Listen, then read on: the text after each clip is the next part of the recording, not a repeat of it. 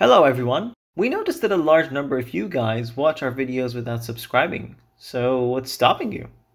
Click here to stay updated with our latest nerdy content. And back to the video. Assalamu alaikum everyone, welcome back to another ATP video. Today we'll be talking about non-TB mycobacteria. It'll be a short and concise video and I hope you'll benefit from it. If you would like to know more about Mycobacterium tuberculosis, make sure you check out our previous video in the description. Now, before we start, I would like to briefly talk about mycobacteria itself. It's called mycobacteria because it contains a unique substance in its cell wall called mycolic acid. Mycolic acid contains lipids, making the cell wall of the bacteria a lipid rich cell wall. Mycobacteria are also called acid fast. This is because they are resistant to decolorization by acid after staining with carbolfuchsin. Therefore, they gram stain poorly. So, what do we use to stain them then? We use something called Ziehl-Neelsen stain. This stain is used to detect mycobacteria. Okay, now on to today's topic, non-tuberculosis mycobacterium species. This video will mainly focus on Mycobacterium leprae, Avium complex, Scrofulaceum, and Marinum.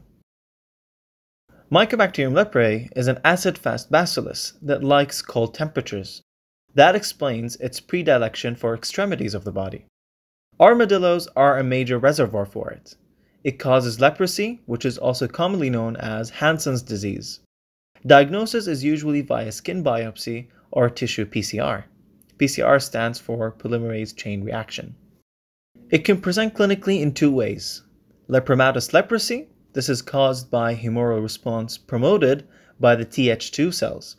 This presentation has a high chance of human to human transmission. This form presents diffusely over the skin, with leonine facies. Patients' distal portions will also be affected, leading to a glove and stalk pattern. Numerous extensor surfaces are cooler and present with disease of demarcated lesions. This form can be lethal. However, it may be treated using dapsone, rifampin, and clofazimine given for 2 to 5 years. On the other hand, tuberculoid leprosy happens because of Th1 cells that stimulate macrophages to engulf bacteria in a cell mediated immunity. This form has mild symptoms and is limited to a few numb hairless skin plaques. A lepromin skin test can be used as a diagnostic tool in this form. It tests for an immune reaction similar to TB and will form a wheal if positive. It's treated using dapsone and rifampin, which are given for 6 months. Mycobacterium avium complex, also known as MAC, refers to two types of bacteria, Mycobacterium avium and Mycobacterium intracellulare. They are known for causing opportunistic infections. MAC rarely infects healthy individuals and mostly affects people with lung disease like COPD, which is chronic obstructive pulmonary disease, and people who are immunocompromised, such in cases of HIV. There are two types of MAC infections. Number one, pulmonary MAC infection. These are the most common type. They mainly affect elderly women and people who already have a lung disease. MAC can also cause hypersensitivity pneumonitis which is a mixed type 3 and 4 hypersensitivity reactions to environmental antigens. The disease is commonly called hot tub lung and is caused by MAC found in the mist produced by tubs. The pulmonary infection presents with common pulmonary symptoms such as dyspnea, cough, chest tightness, etc. The second type is disseminated MAC infections. This usually happens to patients in the late stages of AIDS it's the most common in HIV patients, with CD4 counts less than 50. It causes fever, night sweats, abdominal pain, diarrhea, and weight loss.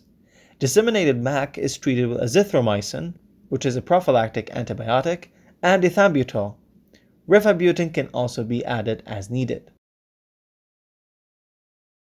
Mycobacterium scrofulaceum and marinum these two types rarely cause infection and therefore not much is known about them. Mycobacterium scrofulaceum causes cervical lymphadenitis in children, while Mycobacterium marinum is known to cause hand infection in aquarium holders. hence the name Marinum. We've reached the end of our video, and now let us sum up the points that we have discussed today. Mycobacterium leprae can present in two different ways, lepromatous leprosy and tuberculoid leprosy, with lepromatous being the more severe type.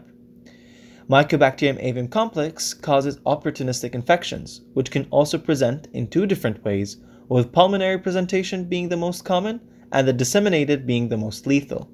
The disseminated one presents in patients with HIV with CD4 counts less than 50, which should be prophylactically treated with azithromycin.